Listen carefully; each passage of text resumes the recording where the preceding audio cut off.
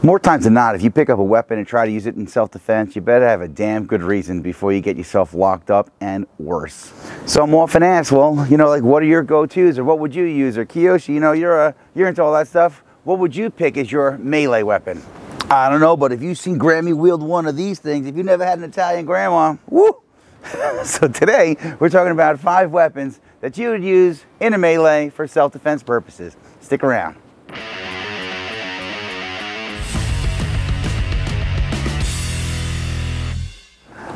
What's up, Warriors? It's Kyoshi Dave Herman with Five Elements Tactical Training, here to share with you some warrior skills and drills that anyone can learn and everyone should know.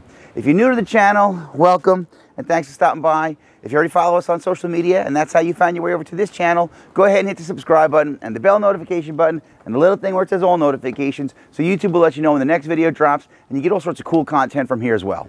So the first thing we should do is define a melee, right? So check this out. This is like the uh, dictionary.com app uh, definition. A melee is a confused hand-to-hand fight or struggle among several people. The words that uh, you know came up that, that I thought were like most common for this type of application were brawl, ruckus, tussle, and a scuffle.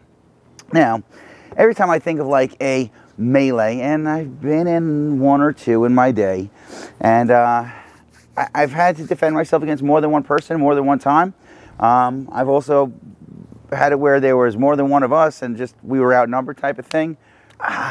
I don't know if I've ever used a weapon to defend myself. I was always confident in my martial arts skills that I was able to. I've defended myself against a weapon. Um, police job, I've always had my my firearm as like the, the equalizer, and uh, oftentimes that that's a good way to like you know uh, de-escalate a situation, believe it or not.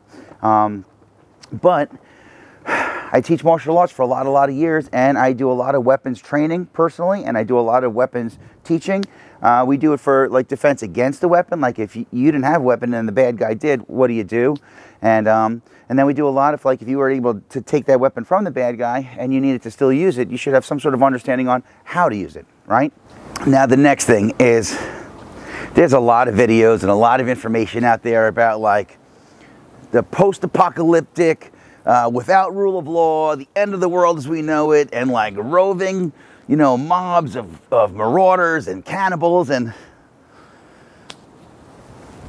I'm not saying that's not going to happen or can happen, but, uh, you know, I like to go down that rabbit hole too. And, geez, what would I do in that situation? But I'm also a little bit of a realist. And, you know, most of my students are like, I, I can't even think about that stuff. I need, like, what if, like, I get jumped outside my house. I get jumped outside the restaurant or the bar or whatever. What do I do, right?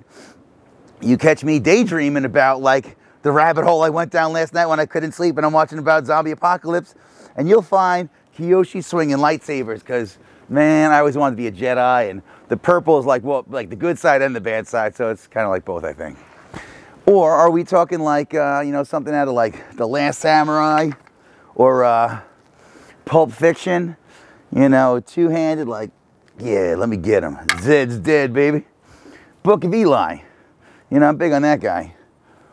Come on now. Come on. Wolverine, one of my favorites. Second, maybe only to Hulk. So, you know, uh, Thor, badass with his hammer. You know, I couldn't find my wooden nunchucks. I think they're at the dojo. So I swiped my son's. He's only six, so he's still got the padded ones. But uh, big Bruce Lee fan. That's a good one. Uh, gangs in New York type of like just old school brass knuckles. These are like a novelty one. They're, they're light. They're, I think they're very dangerous. They're more of a paperweight. And of course, Grammy's wooden spoon. Instead of me giving you a, a whole list of weapons that are like not very likely, like you can't walk around with this thing, you're gonna get yourself locked up, you know? And this thing, maybe in some places you're allowed to have this, but I don't know, that, that's got bad news written all over it. This thing, where the hell are you gonna put this, right?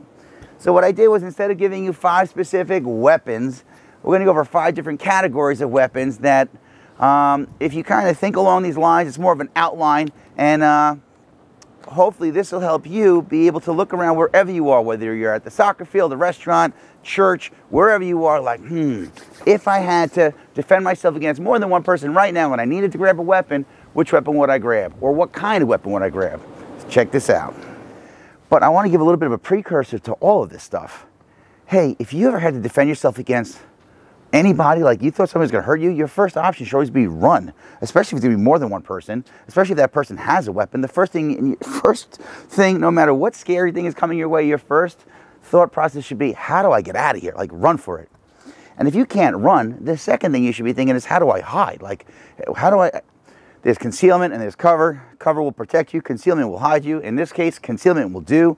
How do I just like hide so that the bad guy don't see me? Hopefully the bad guy or the dangerous thing passes and I can find my escape. While I'm hiding, I should be thinking, all right, where's the, the scary thing happening and where's my escape? So if the scary thing is that way, I'm looking, how do I run for it that way? And where's my escape that way? If all else fails, you can't run and you can't hide and you're forced to fight. Fight isn't like Conan the Barbarian, crush your enemies, see them driven before you and hear the lamentation of their women. Well, it, it shouldn't be that. It should be like, how do I like stun and run? How do I make a break for it, right? So the next part of this is when we talk about using weapons for self-defense purposes, again, you got to understand that as soon as you introduce a weapon into a self-defense scenario, if you cannot maintain control of that weapon and the bad guy gets it, there's a good chance that they will use that on you. So before you take something out, you got to be pretty sure that you're, you're, intent on using it. And if you're not, if you have some sort of tool to use for self-defense on your person, you keep that as like the ace in your sleeve. You know that you only take it out if you absolutely, positively have to, and you're gonna use it. If that makes sense. All right. So the first category of weapons we're going to call long range. So now when I refer to long range weapons, and again, this is how I teach it to my martial arts students, my prepping students, and uh, you know some of the survivalists, like they want to kind of cross train and, and, and do other stuff. A long range weapon is going to be something that you kind of hold with two hands, and you can use like either to poke, to strike. Um, you know, you could reach a little further away, probably outside of their reach or their range with whatever thing they're holding, and maybe they could kind of like keep more than one person away type of thing. Now, again, you could use something like anything that has a handle. So whether it's a mop, a broom, a shovel, uh, an oar, or like a, like a paddle or something. You were like in, you know, Dick's Sporting Goods or something. You know, but you could also use like the pool cue that you would see in a, you know, a pool hole, a bar, wherever. You could also pick up like along, like we just had a crazy windstorm. It's still kind of windy. And as I look along my block, I just see like sticks and branches laying down. Now, it would have to be something that you could pick up and wield, but if you could pick it up and crack somebody with it, that'll do. Another idea would be like, maybe not something that you might hold that's rigid, but if you took off your backpack and you had to like start flailing that thing around with one or two hands, depending on how heavy your backpack is, that would work too. You could use that as a shield too. Like you kind of hold it up and hide behind it, hold it by the strap, crack somebody with it. You could use like a baseball bat, something like, you know, a sword? Yeah, I guess, but something that is even like where you're not holding two hands in the middle of it, but two hands on one end and swinging it like a sword or like a bat or like a golf club or something along those lines. Long range. The second category is going to be mid range. So, mid range is going to be something that you can hold with one hand and wield, maybe two, but it's going to be something that you hold with one hand that's got some length to it that you could like kind of like keep somebody away with. So, again, we got a video on how to use a stick for self defense. But uh, maybe not Thor's hammer, but a hammer would work. A, you know, maybe not Grammy's wooden spoon, but a wooden spoon or some sort of cooking utensil like a spatula. You know, if you've if you've had any sort of training or uh, you know, you at least got kind of go down the rabbit hole and watch some other videos of like, wow, I, I didn't, I would never have thought to like that you could kind of twirl it, right? It's not just like hit the guy with the stick type of thing. You know, there are ways to like kind of put apply pressure by holding on to this, wrap it around somebody's neck. There's a lot of techniques. So you'll be limited by your knowledge of how to use something like this, right? So again, that long stick, I've practiced using just the stick alone. I've done it with as a spear, on, uh, a, a, blade on one end or a point, use it like a spear. I've used it where it's flat on one end, like an oar that you would use for like for padding, paddling your uh, a boat or something like that. When it comes to mid-range, anything like a pipe, club, baton, uh, a wine bottle, you know, a, uh, a, a liquor bottle, an umbrella, something that you would hold that's about this length, maybe a little shorter, maybe a little bit longer, but something you could hold with one hand and wield. Now we were talking about using a backpack to take it off and use it like a shield. Your purse or fanny pack, you could take that off and swing it with one hand similar to nunchucks. A dog leash. So like I have, I always carry some sort of a cordage in my pocket. So like for me, instead of taking off my belt, which that's another option, being able to take off, you know, if you carry cord, you know, my, my uh, survivalist buddies, everybody's got like some sort of six foot length of utility cord. Could you take that out and use it to grab somebody or somebody has a weapon? Could you trap the weapon? Could you wrap it around somebody and, and go to work on them while you're trying to fend off their buddy or whatever? It's another option. And again, all these things kind of fall into that mid range. All right, so the next one up is close range. And um, a lot of the stuff I'm showing you, like I know yeah, I'm in New York, like this is like a felony, just even having this thing. There's a law enforcement officer exemption, so I guess a cop could have it, they just can't use it, but you don't get in trouble for having it or something like that. But um, again, this one's a novelty one. I know I have a real set somewhere, I have to look for them. But uh, you get in a lot of trouble for something like this. But along these same lines, when we talk about close range, it's always going to be something like that you could pick up in one hand and like there's no range to it. Like I would pick up like my steel coffee cup or whatever this thing's made of and crack somebody with that. Um, if you were like pinned on the ground and like you, all you could reach was a rock or a brick or something and crack somebody with that. I mean, again, your life's got to be in danger for you to be able to justify using that type of force on somebody. Um, more than one attacker, and you're like, oh my god, like let me grab anything. Again, going back to like a billiard room, picking up a a, a, pool or billiard ball or a, a, lock that you might use to lock up your bicycle or, or your, uh, your locker at the gym or something like that. But any sort of thing that you could pick up that's like baseball, softball, um, something small that you could pick up in your hand and crack somebody with, right? Those are going to be your close range weapons.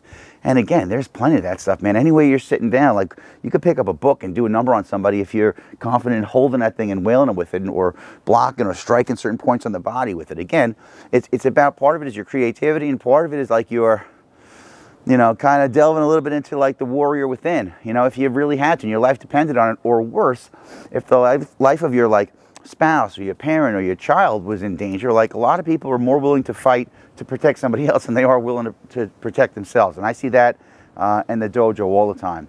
Uh, people that are kind of like shy and timid or whatever. I'm like, what would you do if someone's trying to hurt your mom or your dad or your brother, your sister or your kid? They're like, oh my God, I would kill them. Well, you got to learn how to tap into that for you, defending you, because if you if you don't make it through, how are you going to protect anybody else? Close range. Category four. Now, category four is sharp pointed or bladed or edged objects. So of course, like, you know, I carry a, a, a folding knife.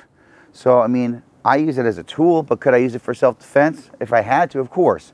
Um, if you don't carry a folding knife, could you, like, like a writing utensil, like if you have a pen in your hand or a pencil, could you stick somebody in the eye with a, like a pencil? Yeah, if you had to. Um, any sort of like, if you were, again, sitting at your kitchen table and somebody came in, I'm sure you have a fork. fork would work knife would work. Uh, if you're sitting at your desk, whether in your school or office, and like scary thing happens, and you like all hell breaks loose, you'd pick up the pointy thing, and the pointy end goes into the other guy. Of course, there's more to it than that, but again, we're going into that cat that next category. So you have that long range, mid range, close range. Now we're going to go for things that are. Would that would a uh, sword fall in there? Absolutely. Would a big knife, a little knife, a throwing star, a Wolverine claw, all those things. But again, wherever you are, like the things that you don't, unless you carry this thing on you, you got to be able to like, from your environment, find something that you could use. Could you pick up a pointy stick and, and stab somebody or slice somebody with it? Absolutely. Again, creativity. You got to kind of like be of the mindset. Hmm. If right now in my car, what could I grab inside my car?